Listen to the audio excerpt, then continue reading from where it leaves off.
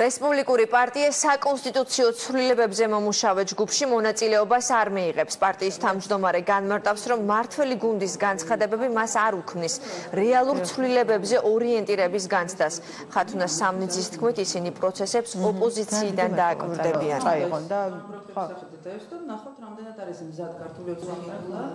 რესპუბლიკური პარტია არ გეგმავს, რომ ამ ტიპის პიარ აქციაში პრემიერისგან გაცხადებულ ამ ინიციატივაში მიიღოს მონაწილეობა. შექმნილი ვითარ ვითარება არ მაძლევს არანაირ საფუძველს ვიფიქრო, რომ ქართული ოცნება ეს პოლიტიკური გუნდი მზად არის ფართო პოლიტიკური კონსენსუსისთვის.